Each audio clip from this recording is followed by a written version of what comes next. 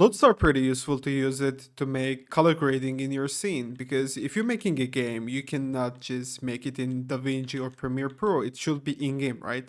So I'm gonna show you how you can do it with so easy step your own custom LUTs with some quick tips. If you're ready, let's dive into it.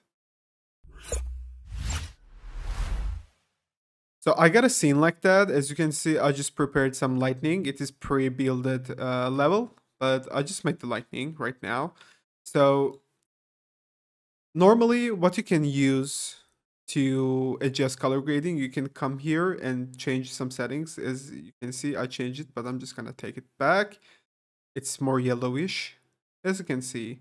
Let's go to MISC, and as you can see, there's a color grading LUT, which is lookup table. Let's search, do we have any LUT in here? Yes, we have. We have afternoon. We have daytime. We have morning and we have night. Those are different LUTs, you can use it. But today what I'm gonna do, I'm gonna create my own custom LUT, maybe because I want a unique look in my scene. Maybe I'm just gonna make a more saturated area or more grayish area. So how we can do it, let me show you. First, I need to take a screenshot. Everything looks fine and I'm gonna take a screenshot. After we take a screenshot, I'm gonna go to Photoshop. Okay, so we are in the Photoshop, as you can see. What we're gonna do, we're gonna create our own custom LUT. For this, I'm gonna create a new layer. On top of this layer, I'm gonna add brightness and contrast, exposure, hue and saturation, vibrance, and levels.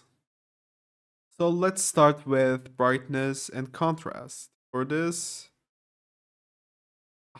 maybe we can make more brighter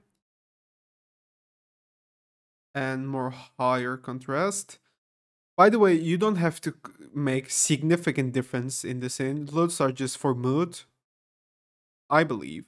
So we're just gonna change a bit. We're not gonna make so different looking than the normal. We just want to change some things in the scene. For exposure, just gonna make it something like that. Offset, let's leave like that. Gamma correction, make it like that. Go to the hue and saturation. Okay, I want a more saturated scene, maybe. Not so much. Let's make it 15. Lightness, it's like 2. We can make it completely different thing like that. We don't want that, so let's leave it in here. Let's go to Vibrance.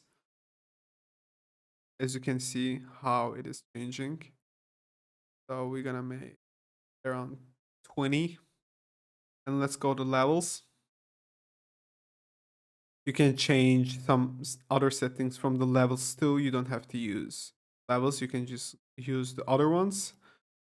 But I also want to use color balance. And I want to make it a bit greenish and more blue. I think it is a bit more looking cinematic.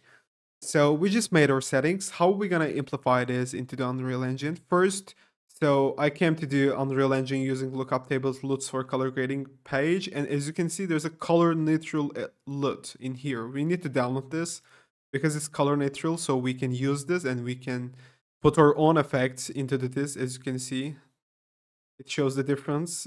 Just download this and come back to the Photoshop. Okay, I imported my color neutral LUT. So what I'm going to do I'm just gonna copy everything, come here and paste it. So let's make it group.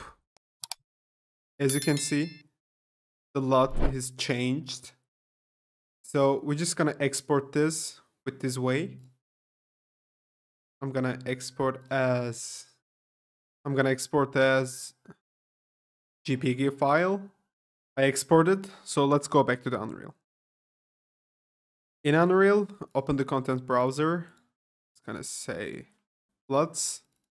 I import my LUT, but we need to change some settings in here. Choose color lookup table. And in the compression settings, and I'm gonna make HDR high compression.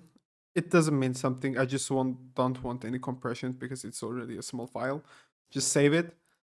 Let's go to our post process. And let's import our LUT. As you can see,